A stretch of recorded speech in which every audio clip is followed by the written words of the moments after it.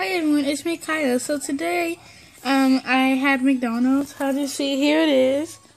But yeah, so I had McDonald's, and I got this little prize. The first prize I got was a Nerf gun, but I I got that yesterday. And now we have a Flutterbye, so I do not know what's going on. But yeah, so here it is. It it said join the fun with the McPlay. So it says Flutterbye and stuff. So there it is, and I have a purple girl. So. And this is number three, but I'm gonna open it. And this is my first Flutterbye. Okay guys, so it's not fully open yet, but so I'm gonna get it out.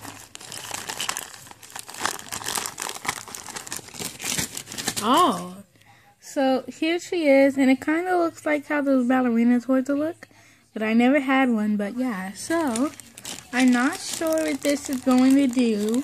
I hope that it does fly. If it does, that will be totally cool. But without reading the instructions, I'm going to do it by myself. So let's see. And then I'm going to read the instructions once it get hard. Okay. Oh, so that's what it does? I think, I think it's supposed to be turning. So I am going to read the details or instructions because I'm not sure what this thing's supposed to do. So let's do it. So, uh, uh, uh, uh.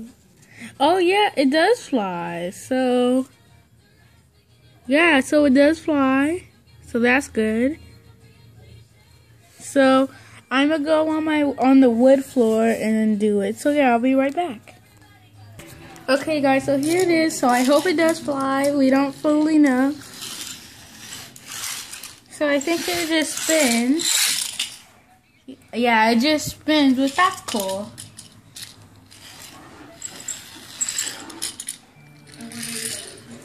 So, we're gonna have this little fairy talk. Hey everyone, is Pixie, and I love to turn.